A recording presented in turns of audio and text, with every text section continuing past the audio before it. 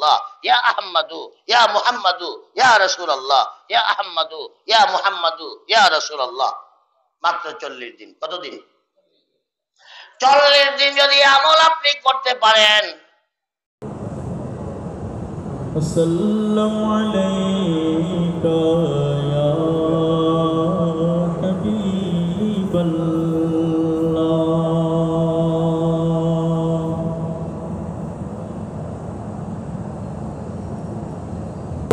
الصلاة والسلام على من كان نبيا وآدم. وآدم بين الماء والطين. أما بعد فقد قال الله تعالى في القرآن المجيد والفرقان الحميد. أعوذ بالله من الشيطان الرجيم. بسم الله الرحمن الرحيم. إن الله وملائكته يصلون على النبي. يا أيها الذين آمنوا صلوا عليه وسلموا تسليما. اللهم صل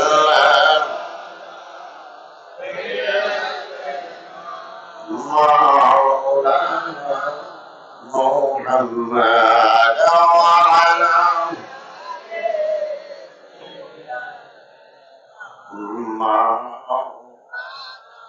محمد اللهم صل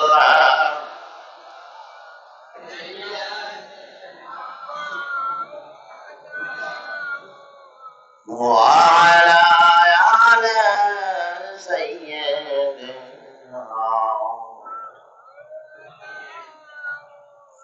আগে আমার নকল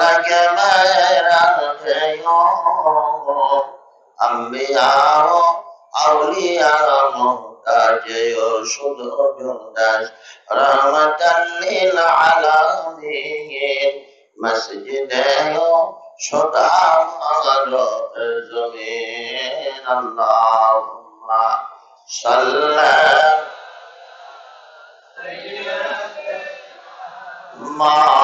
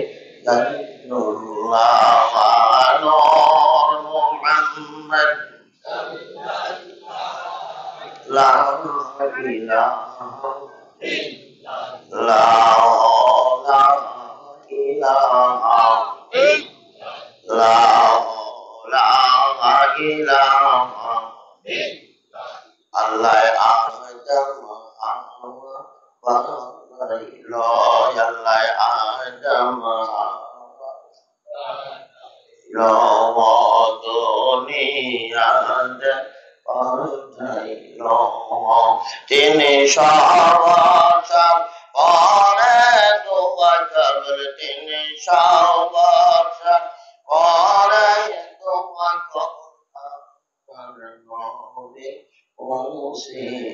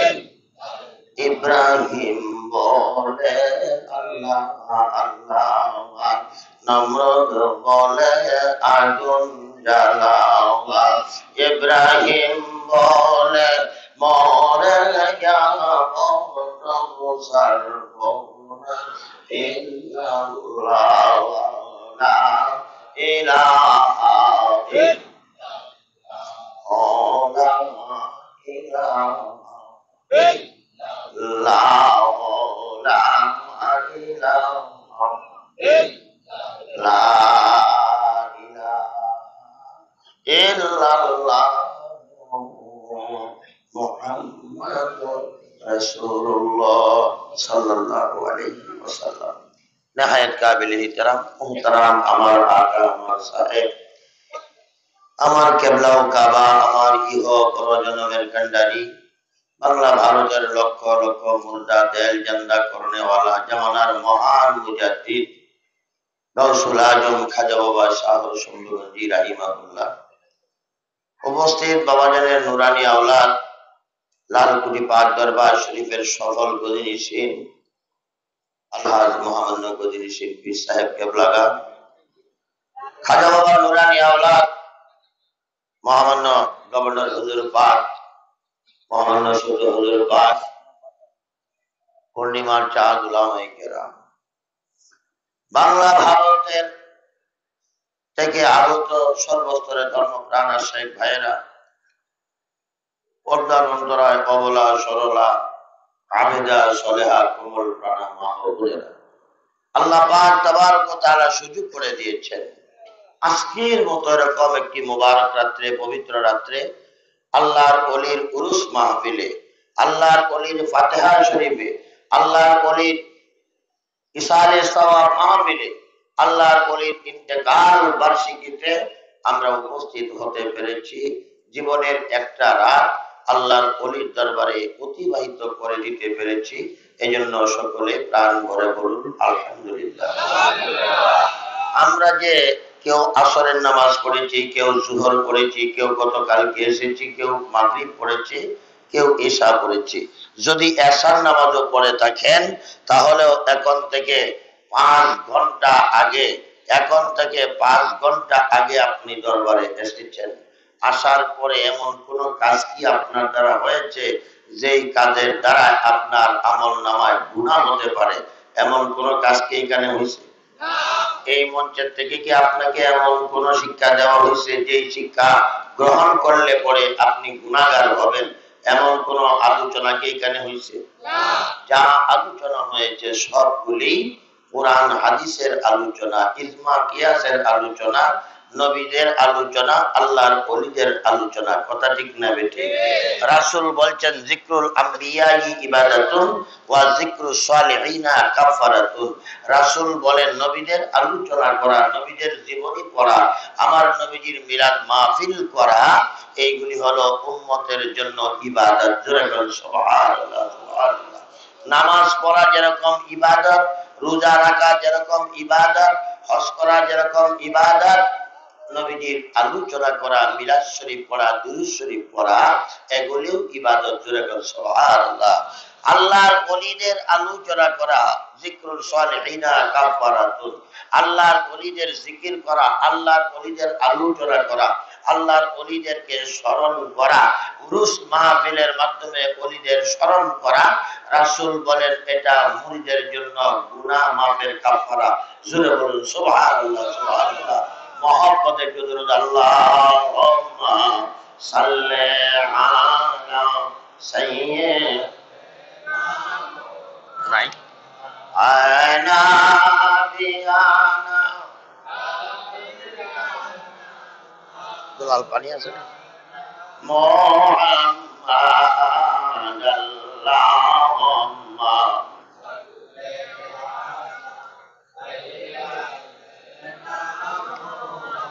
জগৎ পাগল কামার জন্য কাদা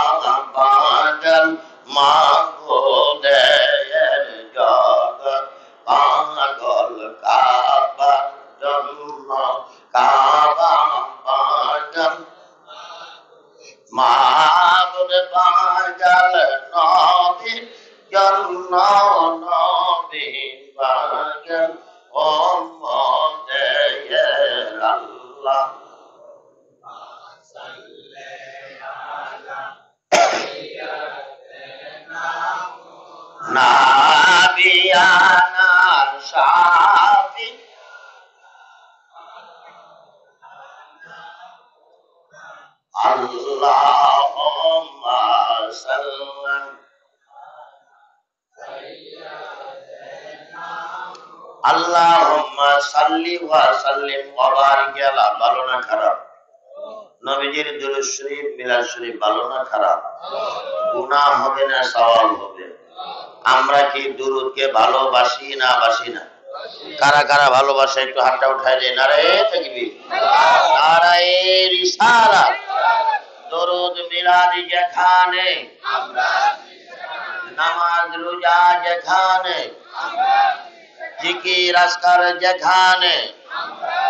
অলি আল্লাহ যেখানে, কোরআন, হাদিস যেখানে, দরুদ নাই যেখানে, জিকির নাই যেখানে, নামাজ নাই যেখানে, নারায়ে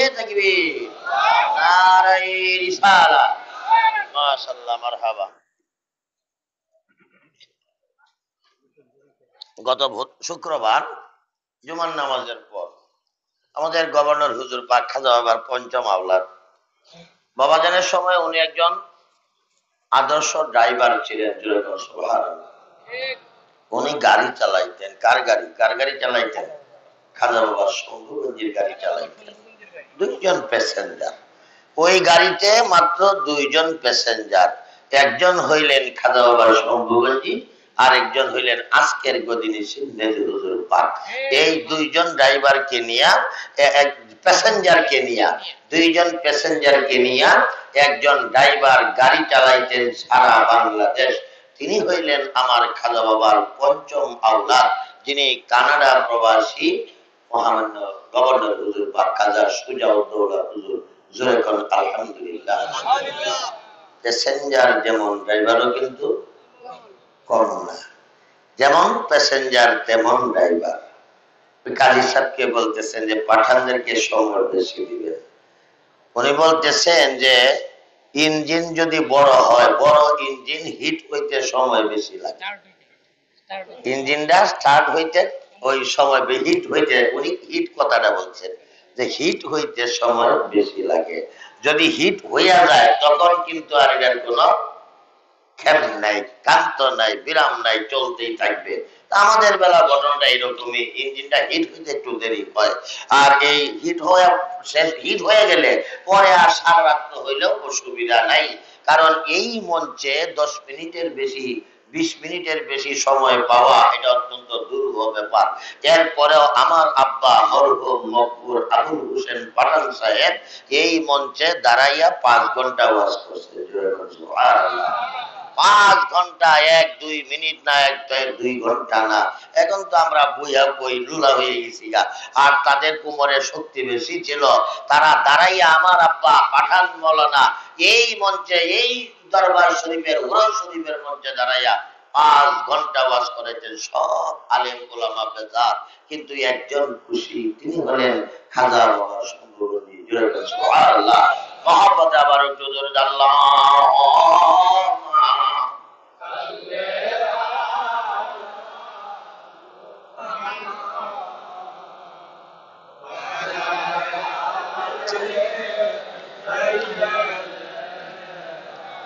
محمد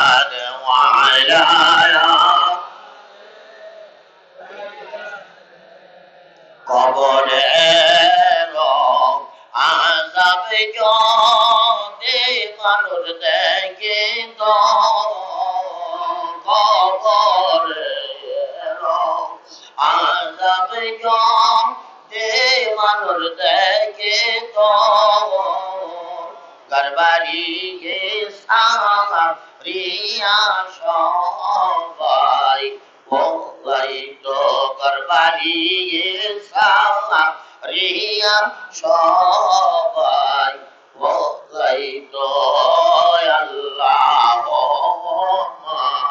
সাল্লাল্লাহু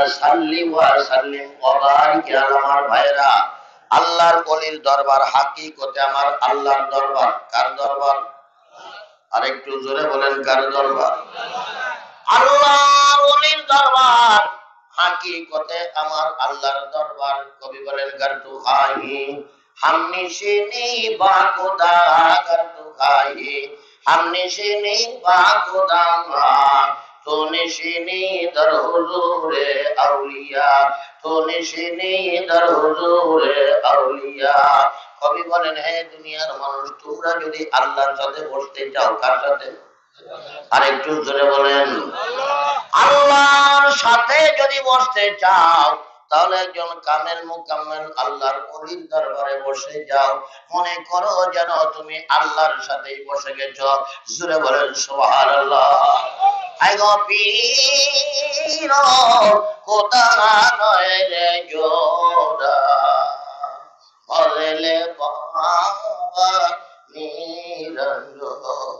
আমার বীর কোদা নয় রে যোদা ভজলে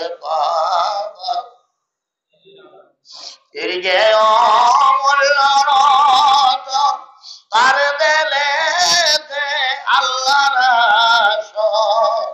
আই সেই পীরের ও শিলাদে আমরা আগে আই গো বীর কোদা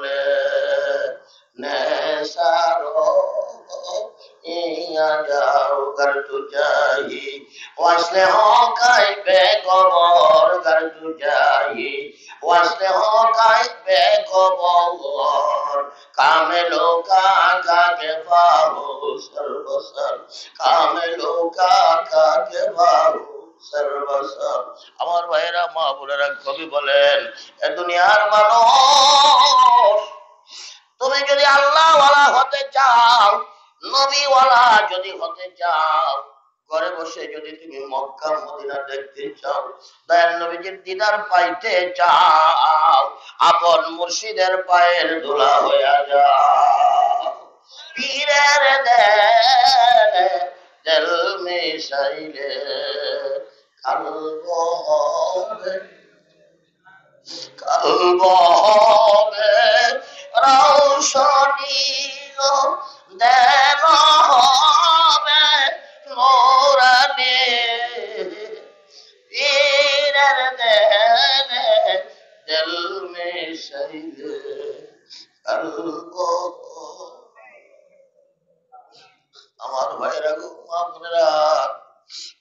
পীরের দেলের সাথে আপনার নিজের দেলটা এক করেন। খাদৌলা শম্ভগঞ্জের দেলের সাথে যেই মুড়িদের, যেই ভক্তের দেল এক হয়ে যাবে। ওই শম্ভুগঞ্জের লালপুটির জমিন থেকে তাকাবেন, আমার আল্লাহ আরও আপনার সামনে হাজির হয়ে যাবে। মা বলে রাখো অনেক মহিলা আজকের এই ওরস মাহফিলে এসেছেন। আপনাদেরকে ধন্যবাদ জানাই, মোবারকবাদ জানাই। আমার খাদাবার পক্ষ থেকে আপনাদেরকে ধন্যবাদ দিই, মোবারকবাদ জানাই। গদিন হোসেন হজুর পাকের পক্ষ থেকে মোবারকবাদ। আপনারা যদি খাদা বাবার মুরিদ হয়ে থাকেন, আমার মুর্শিদের এসকের পাগল হয়ে যদি আপনারা এখানে এসে থাকেন আপনি যদি আমার খাজা বাবার আদর্শে অনুপ্রাণিত হয়ে থাকেন নামাজ আদায় করেন, প্রত্যেক নামাজের পরে ওজিফা করবেন শরীফ শরীফ শরীফ ঠিক না বেটি নামাজ তো লাগবে না আমাদের, নাকি? মুরিদ হইলে তো মানুষ বেহেস্তে চলে যাবেন আর তো নামাজের দরকারই নেই আহ! সব মানুষ লাখ লাখ মানুষ ধরে যাইতে থাকব, আমি ফাঁকতালে ভিতরটা চলে যাব। দেবো না মানে? সারবো না? সারবে না সারবে না। আজকে খাওয়ার মাঠে গিয়ে যে ঠেলা খাইলাম। খাওয়ার মাঠের ঠেলায় আমার শিক্ষা হয়ে গেছে যে আর উপায় নাই। কারণ ওই মাঠে যারা খেদমত করে, আল্লাহ যদি এদের বেহেস্তের পাওয়ার দেয় দেয় বেহেস্তের গেটে যদি এরা থাকে, তাহলে শম্ভগঞ্জের মরিদ একটাও যাইতে পারবেন না। যাদেরকে মেজু হুজুর কদির ইসিন হুজুর খাওয়া নুরানি আওলাদরা খাওয়ার মাঠের দায়িত্ব দিচ্ছেন গেটে এরা যদি আল্লাহ পাক বেহেস্তের গেটের দায়িত্ব দেয় যে তোরা বেহেস্তের গেটের দারোয়ান, তাহলে শম্ভুগঞ্জের পিসাবের মরিদ একটাও জান্নাতে যেতে পারবে না। আমি নিজে এটা আজকে দেখে আইলাম ঘটনা। কারণ আমি পাঠান মৌলানার যেহেতু খাতির নাই, তাহলে আপনারা যে কীরকম খাতির পান? হ্যাঁ? আমার যেখানে খাতির নেই, এখানে আপনাদের কোনো ভাত নেই। যদি দয়া করে আল্লাহ তাদারে গেটম্যান বানায় দেয় বেহেস্টের তা আমরা দুজন সারা উপায় নেই। ঠিক না ঠিক। আমার ভাইয়েরা, মা বোনেরা, পাঠান হক বলে থাকে। হক তিতা, আল মুর- আল হাক্কু কানা পাঠানরা যুগে যুগে হক কথাই বলে। এজন্য পাঠানের শত্রু বেশি থাকে। কথাটা একবারেই বাস্তব কথা, ঠিক না বেঠে শত্রু বেশি, সবাই ভালো পায় না। কিছু মুরব্বী মানুষ বুড়া মানুষ ভালো পায়। আর সব মানুষ মন্দ পায়। মইরা গেলে হেরা ভালো।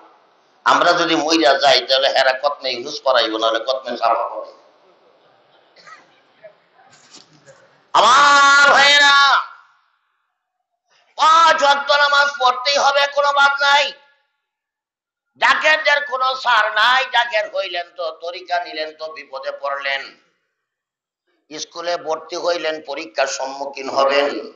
যদি স্কুলে ভর্তি না হন, মাদ্রাসায় ভর্তি না হন, তাহলে জীবনে কোনোদিন পরীক্ষার সম্মুখীন হবেন না। কথা ঠিক না ঠিক? যারা স্কুলের ছাত্র হয় তাদেরকে পরীক্ষা হয়। এক্সামিনার তাদেরই পরীক্ষা নেয়। আমি একজন নিজের শিক্ষক, প্রথম দশটা কাতা এক নাম্বার থেকে দশ নাম্বার সিরিয়াল, রুল এক থেকে দশ পর্যন্ত সিরিয়াল। এই কাতাগুলি আলাদাভাবে বাস করে নেই। এই কাতাগুলি অত্যন্ত সূক্ষ্মভাবে দেখতে হয়। এর মধ্যে যদি একটা নাম্বারের কম বেশি হয়, একটা ছেলের একটা ছাত্রের ডিভিশনের মধ্যে গ্যাপ পড়বে। কথা ঠিক না ঠিক?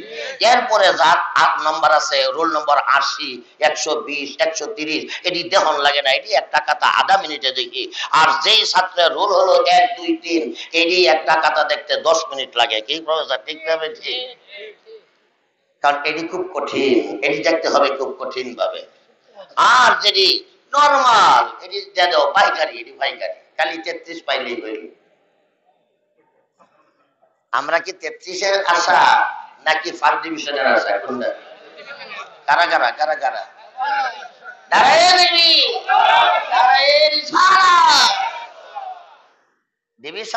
ফার্স্ট কিন্তু নামাজ নাই। কথা নাই, হালাল খানা নাই, খালি কথা কথা ঠিক না বেঠি। কিচ্ছু লাভ নাই। পীরের কাছে তরিকা নিলেন। আত্মাহিয়াতুর সুরেতে বইলেন, নামাজের ওযু কইরা বইলেন। কইলেন, জীবনে চুরি করিব না মিশা কথা বলিব না, হারাম খাইব না, ডাকাতি করব না, খুন করব না, জিনা করব না। ইল্লা মাশাল্লাহ সব হইতেছে। তাহলে কি তরিকা আছে না নাই? আছে না নাই? আস্তাকে আর গুরু দিলে কি মনে করছে যে খুশি এলা খুশি না, সে খুশি না।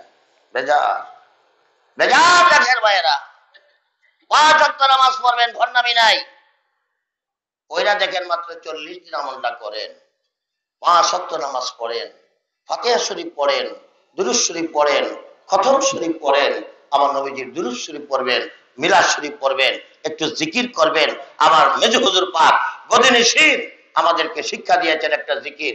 এদিকে পড়বেন কি? ইয়া আহমাদু, ইয়া মুহাম্মাদু, ইয়া রাসূলুল্লাহ। ডান দিকে ইয়া আহমাদু, বাম দিকে ইয়া মুহাম্মাদু, কলমের দিকে ইয়া রাসূলুল্লাহ। আসলে আমরা একটু করি, ইয়া আহমাদু, ইয়া মুহাম্মাদু, ইয়া রাসূলুল্লাহ, ইয়া আহমাদু, ইয়া মুহাম্মাদু, ইয়া রাসূলুল্লাহ, ইয়া আহমাদু, ইয়া মুহাম্মাদু, ইয়া রাসূলুল্লাহ, ইয়া আহমাদু, ইয়া মুহাম্মাদু, ইয়া রাসূলুল্লাহ। মাত্র চল্লিশ দিন, কতদিন?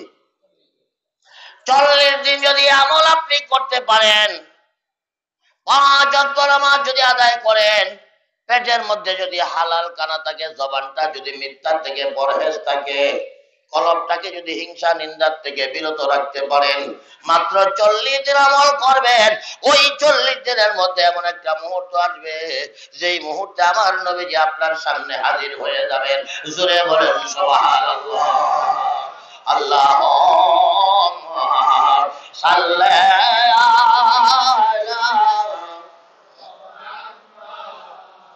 وعلى آل سيدنا محمد وعلى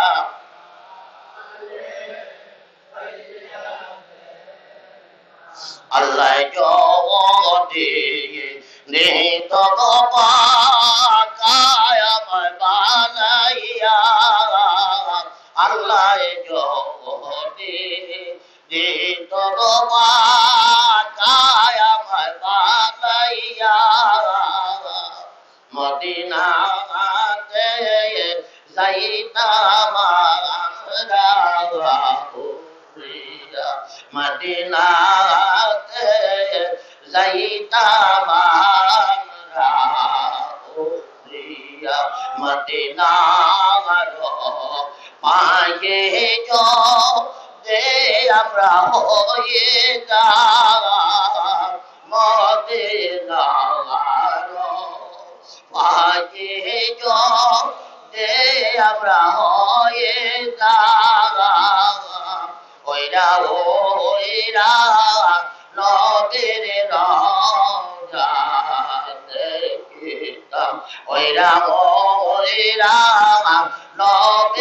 রজা দেখিতাম আল্লাহ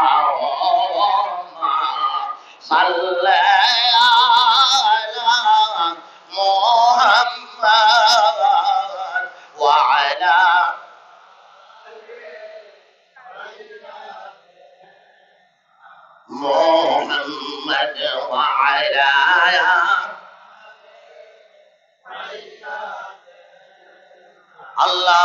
اللهم صل وسلم وبارك على আমার ভাইরা মা বোনেরা কেউ পারে নাই আল্লাহর ওলির ওসিলা ছাড়া আল্লাহর ওলির ইত্তেবা করা ছাড়া আল্লাহর ওলির পায়রবি করা ছাড়া কেউ আল্লাহ ওয়ালা হতে পারে নাই।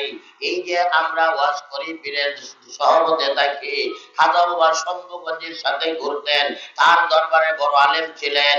আমার আব্বা মাওলানা পাঠান সাহেব, এই প্রফেসর তাজুলের আব্বা মাওলানা ওয়াজেদ আলী সাহেব, কথা ঠিক আমরা কি তাদের মতো হইতে পারছি?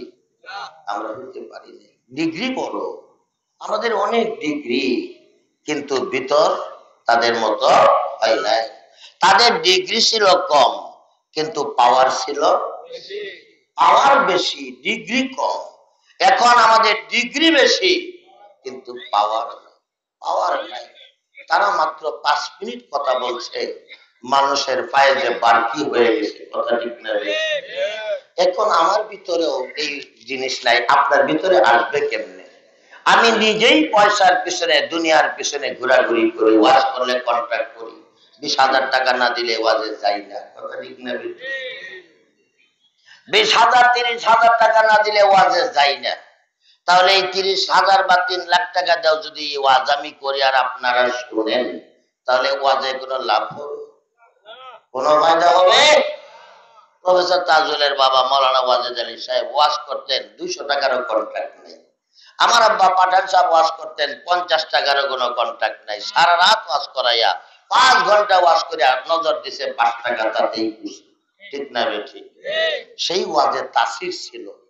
আমরা এখন আবাদ করা জমির মধ্যে খাইতেছি, ঘুরতেছি, আবাদ কিন্তু তারা করে দিয়ে গেছে। কথা ঠিক না? আমার যত বড় আলেম ওলামা হয়েছে, আল্লাহর অলির সব যারা, আল্লাহর অলির উসিলা যারা এত্তেবা ছাড়া কেউ কোনোদিন হতে পারে নাই। আল্লাহ পাক কোনো কাজ উসিলা ছাড়া করেন না। যে কোনো একটা উসিলার মধ্যে কাজটা সমাধান করেন। জোরে করেন সুবহানাল্লাহ। আল্লামা জালালউদ্দিন রুমি রাহিমাহুল্লাহ জবরদস্ত আলেম ছিলেন। তিনি যখন তরিকা নিলেন, তরিকা নেওয়ার আগে ওই আলেমের দরবারে হাজারো হাজার আলেমরা বসত কোরআনের তালিম নেওয়ার জন্য, তাফসিরের তালিম নেওয়ার জন্য, হাদিসের তালিম নেওয়ার জন্য। কিন্তু যখনই তিনি শামসুদ্দিন কাছে মুরিদ হয়ে গেলেন, কিছুদিন তিনি তিনি পাগল পেশেছিলেন এরপরে যখন তিনি লোকালয়ে আসলেন, তার কোনো মূল্য নাই। সব মানুষ তাকে ভণ্ড বলে জুড়ে কন্যা তরিকার আলেমটা হইলেই তাকে বন্ড বলে। কথা ঠিক না, বেঠি? কারণ কি? আমার নবীজিকেও মানুষ বন্ড ডাকতো। এই কথা ঠিক না বেঠি নবীজিকে মানুষ পাগল ডাকতো বন্ড ডাকতো। যেই আল্লাহ রাসুলের কথা বলছে সঠিক পথে যেই চলছে তাকেই মানুষ একদল মানুষ তাকে বন্ড ডাকতো। যারা ডাকতো তারা কি ভালো মানুষ না খারাপ মানুষ? হজরত জাকারিয়া নবীকে একদল মানুষ কি করল? তার মাথাটা করাতে ছিলেন করাতে মাথা ছিল হজরতে জাকারিয়া নবীকে একদল মানুষ তারা ভণ্ড ডাকতো তারা ইহুদি ছিল, নবী মুসার অনুসারী ছিল। আপনারা বলেন, জাকারিয়া নবী ভণ্ড না, তাকে যারা বন্ড ডাকে, তারাই বন্ড আমার নবীকে যারা বন্ড ডাকতো, তারা বন্ড না আমার নবী বন্ড সকল অলি আল্লাহদেরকে মানুষ এই জ্বালা দিয়েছে। আর আমাদেরকেও এই জ্বালা দেয়। এটা কঠিন পরীক্ষা। আমরা একটা পরীক্ষার ক্ষেত্রে আসি পরীক্ষা কিন্তু এইভাবেই হয়ে থাকে। আরাম দিয়া কোনোদিন পরীক্ষা হয় না। পরীক্ষা যত হয়, জ্বালাতনের ভিতরেই হয়। এই জ্বালাতনের পরেও যেই ব্যক্তি আল্লাহর অলির দামন ধরে থাকতে পারবেন তিনি প্রথম শ্রেণি অধিকার করবেন, তিনি ফার্স্ট ক্লাস ফার্স্ট পাবেন তিনি গোল্ডেন এ প্লাস পাবেন, আল্লাহ পাক তাবারক তাআলা ওই অলির সঙ্গে করে তাকে জান্নাত দিবেন। জোরে করে আমরা কি চাই না চাই না?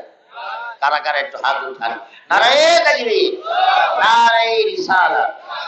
আমার ভাইরা আল্লামা জালালউদ্দিন রুমি রহমাতুল্লাহ আলাইহি জবরদস্ত আলেম ছিলেন।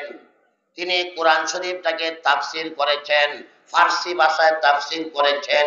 ওই তাফসির গ্রন্থের নাম দিয়েছেন মসনবী শরীফ। আল্লামা জালালউদ্দিন রুমি রাহিমাহুল্লাহ, তিনি বলেন, কোরআনের মগজ আমি লইলাম তুলিয়া আর হাটি গুলি রাখলাম, দুনিয়ার কুত্তার লাগিয়া। জোরে কন্যা কোরআনের মগজ তিনি উঠাইয়া নিলেন, আর হাড্ডি রাখলেন কুত্তার লাগি। আমরা কিন্তু এখন হাড্ডি নিয়ে কারা কারা করি, কথা ঠিক না বেটে আমার ভাইয়েরা, আল্লাহর মহান অলি ইমাম আবু হানিফা রাহিমাহুল্লাহ বড় আলেম ছিলেন, কথা ঠিক না বেটে শুধু কি আলেম ছিলেন না অলিও ছিলেন। আলেমও ছিলেন অলিও ছিলেন। তার মাজারে যাইয়া দুই রাকাত নামাজ পড়তেন ইমাম শাফি রহমতুল্লাহ ইমাম শাফিও কিন্তু বড় আলেম বড় আলেম এবং অলি মক্কা শরীফ যাবেন, শতকরা নব্বই জন মানুষ ইমাম শাফির মাঝাবে ওইখানে তারা হাত বাঁধতেছে, ওইখানে হাত বাঁধতেছে। ইমাম যখন কয় দোয়াল লিন তখন মুসল্লিরা আমিন কইয়া মনে হইতেছে কাবা শরীফের সার পুড়ে এই যে আমার এই বাপ মোল্লার আমার ভাইয়েরা পৃথিবীর এত সংখ্যক মানুষ। ইমাম আবু হানিফাকে অনুসরণ করে ইমাম আবু ইমাম শাহি রাহিমাহুল্লাহকে অনুসরণ করে।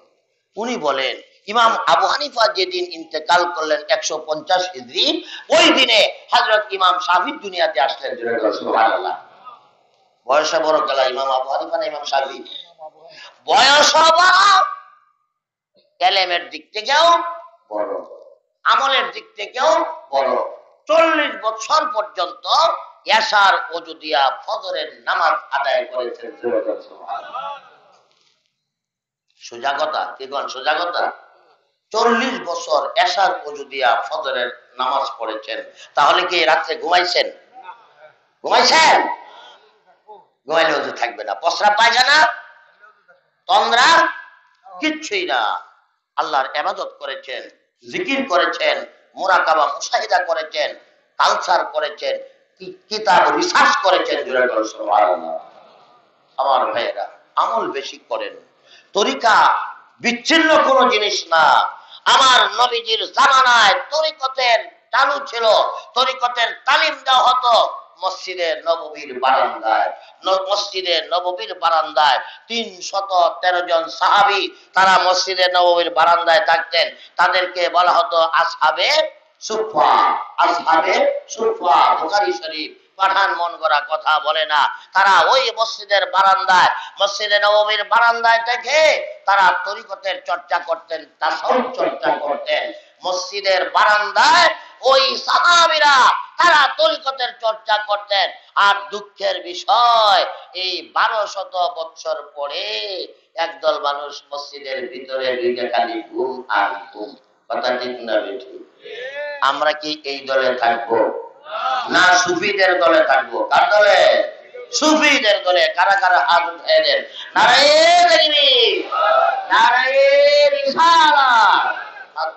আমার ভাইয়েরা, সুফিদের কাজ হলো তাসব চর্চা করা। আর তাসব এমন জ্ঞান এমন বিদ্যা যেই বিদ্যা চর্চা করলে মানুষ কি করে? আল্লাহকে চেনার পাশাপাশি নিজকে নিজে চিনতে পারে। এই চর্চার নাম হলো তাসব আল্লাহকে চেনা যত সহজ নিজকে চেনা তার চাইতেও তার চাইতেও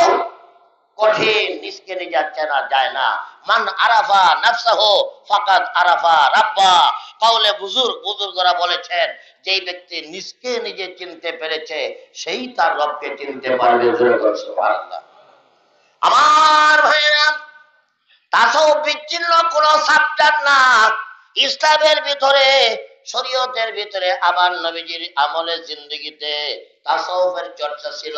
সাহাবায়ে আর সাহাবায়ে আজমাইন তাসৌফ চর্চা করতেন।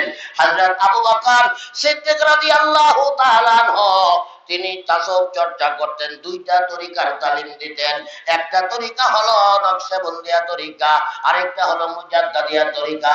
এই দুইটা তরিকার তালিম দিতেন হযরতে আবু বকর সিদ্দিক রাদিয়াল্লাহু তাআলা আনহু।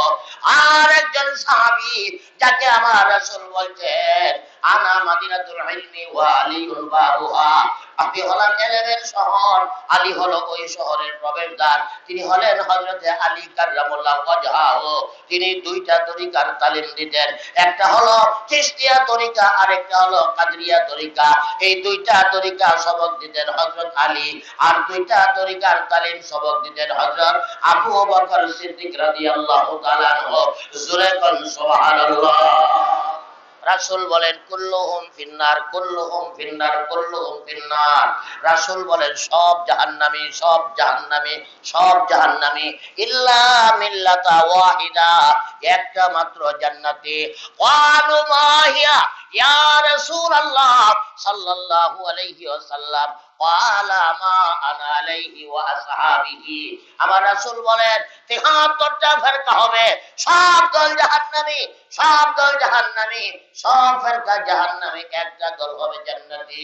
সাহাবীরা বলে, হুজুর, এই দলটা কারা রাসূল বলেন যেই দল আমি এবং আমার সাহাবীদেরকে অনুসরণ করবে, যাদের মধ্যে আমি এবং আমার সাহাবীদের আদর্শ থাকবে, তারাই হবে আহলে সুন্নাত ওয়াল জামাআহ জোরে কোন সুবহানাল্লাহ।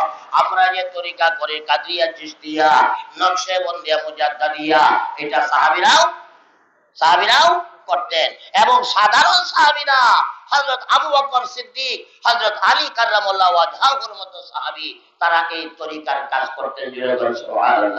তাহলে আমরা কি আমরা কি নবীজির তরিকায় আসি না তার বাহিরে আসি? আমাদের তরিকা রাসূলুল্লাহর সত্য তরিকা। কার তরিকা? রাসূলুল্লাহ সত্য তরিকা। নামাজ লাগবে না লাগবে না? রোজা, পর্দা ইল্লা মাশাল্লাহ পিসা পারি তাইলাম, কিন্তু পর্দা করলাম না। বুরকা একটা যাও লাগাইলাম মুখটা উদাম করে রাখলাম। লাভ? লাভ হবে নাকি? এই অবস্থায় পিসা পারি আসলে লাভ নাই। পারো মক্কা শরীফ যাও, ওইখানে আবার এই এই নাকি? মোল্লারপুর ওইখানে ওয়ার্ডটা মক্কা শরীফ, বেড়ার বেচার একখানই আমরা নামাজ পড়ছি একখানই হইয়া রয়েছি একখানই সব কিছু করছি। ওইখানে যদি পর্দা না করো না ওইখানে যাও, ওইখানে গিয়ে তোমার যেটা মনে হয় সেটা করো। কিন্তু শম্ভুগঞ্জের পীর বাড়িতে আসলে পর্দা করতে হবে? যেই মহিলা বেপর্দা, বেহায়া হয়ে পীর বাড়িতে আসবেন, আপনাকে কিন্তু দাওয়াত দেওয়া হয় নাই। আপনি চিঠিটা করে দেখবেন চিঠির এক জায়গায় লেখায় আছে বেপর্দা বেহায়া মাথা খারাপ? পাগল দাগি দাগি দোষী দাগি দোষী তাদেরকে আমি জিয়াফত করি নাই। জিয়াফত? স্বর্গের স্বর্গের সঙ্গে আনিলেন না। স্বর্গে যাবার কুন্ডা এইটাই স্বর্গের এইটাই। স্বর্গের সাবধান। মা বোনেরা যদি পর্দা করতে না পারেন, এবারে আসার দরকার নাই আপনার। বাড়িতে বৈশা থাকেন আর যদি পীর বাড়িতে আসতে হয়, পর্দা করে আসতে হবে। বেপর্দা হওয়া যাবে না। আপনি একা বেপর্দা হবেন, আর গোটা তরিকার জগতের দুর্নাম করবেন। কথা ঠিক না আপনার জন্য তরিকাকে কলঙ্কিত করবেন না। আপনার জন্য আপনার পীরের দুর্নাম আনবেন না। এমন ভাবে আপনি চলবেন। যেন অন্যরা দেখলেও বলে যে, না মানুষ পীর বাড়িতে গেলে তার কিছু পরিবর্তন হয়, পরিবর্তন আসে। আগেও নামাজ পড়ি নাই, এখনও নামাজ পড়ি না। মুরিদ হওয়ার আগেও যেমন সুদ খাইতাম, মুরিদ হওয়ার পরেও সুদ খাই। মুরিদ হওয়ার আগেও যেমন মিশা কথা কইতাম, এখনও সেই মিশা কথাই কই। তাহলে কি মুরিদে আমার ভিতরে তাসির করছে? এই তরিকা কি আমার ভিতরে ঢুকছে? ঢুকে নাই। এটা খালি টুটের তরিকা, কলমের তরিকা। আমি বলতেছিলাম হজরত ইমাম শাফি রাহিমাহুল্লাহ জবরদস্ত আলেম ছিলেন, জগৎ বিখ্যাত ইমাম ছিলেন। এরপরেও তিনি বলেন, আমি যখন কোন মুসিবতে পড়ে যাই, আমি এইবার কি করি? আমার অলি, আমার বুজুর্গ, আমার মুর্শিদ, আমার মুরব্বী, হযরত আবু হানিফার মাজার শরীফে চলে যাই। আমরা কি করি এখানে? বিপদে পড়লে শম্ভুগঞ্জে পিসা বাড়িতে আসি আসি না? সবাই আসি সবাই আসি। আমরাও আসি, আপনারাও আসেন, আরও মানুষ আসে। সন্তান নাই, এরপরেও ওইখানে আইসা কি করে? দোয়া করে, নজর করে, মানত করে, আল্লাহ পাক সন্তান দেয়। কথা ঠিক না মানত করতে হবে। আল্লাহ পাক মানতের ভিতরে তার মকসুদ পুরা করে দেয়। একজন মহিলা, তার সন্তান হয় না, নব্বই বছর বয়স হয়ে গেছে। নব্বই বছর বয়স, সন্তান নাই। স্বামীর বয়স একশো বছর, বুড়া মানুষ সন্তান নাই। টেম্পার আছে না নাই? মাদ্রাস গেলে ডাক্তাররা কি এখন সন্তান দিতে পারবে? টেম্পারই নাই নব্বই বছর বয়স। ওই নব্বই বছরের বুড়ি কয় আল্লাহ আমারে যদি একটা সন্তান দিতা গো আল্লাহ আমারে যদি একটা সন্তানের মা বানাইতা। আমি তোমার একটা মান্নত করি। ইন্নি নাজার তু ইন্নি নাজার তু মা ফি বাতনি, বতন মানে পেট। ওই মহিলা তার পেটটার মধ্যে তাপর দিয়া বলতেছে, আল্লাহ, ইন্নি নাজার তু মা ফি বাতনি। তুমি যদি আমার একটা সন্তান দাও, আল্লাহ, আমি মানত করলাম। এই সন্তানটারে তোমার ওয়াস্তে আমি মানত করলাম। জোরে সুবহানাল্লাহ। এই মহিলার নাম হজরতে হান্না, মরিয়মের মা ঈসা নবীর নানি। তার স্বামী একজন নবী ছিলেন ইমরান। আল্লাহ কয় নবী রে ইস- ও ইমরান হইলে কিন্তু আমারে ডাকার মতো ডাকতে পারলি না। ডাকার মতো ডাকতে পারলি না, তোর বউ কাম বানায় যেরকম সুবহানাল্লাহ। অনেক সময় বউ কাম কথা ঠিক না ঠিক মতো বউ লাগবো তো। আর এই বেফরটা বেহায়া বেরেল্লা বনা হরকে মাথা খারাপ। পীর বাড়ি পড়িয়া থাকলে কি মনে হল কাম হয়ে কাম হবে না। কাম হবে না, কাজ করতে হবে। আল্লাহ গো ইব্রাহিম তোর বউ আজকে আমার মনটা খুশি করে দিছে। আমি তোরে সন্তানের বাবা বানাবো। ইমরান কয়, না, বিশ্বাস করি না, একশো বছরের বুইরা টেম্পার নাই। এইবার তুমি কো আমারে সন্তান দিবা। আল্লাহ, এতদিন তুমি কি কোথায় ছিলা? এতদিন কি পারলা না? আল্লাহ কয়, পারতাম রে ইমরান, কিন্তু এতদিন তো তুই মানত করস নাই। আজকে তোর বউ মানত করার কারণে আমি আল্লাহ তোরে সন্তানের বাবা বানায় দিব। ইমরান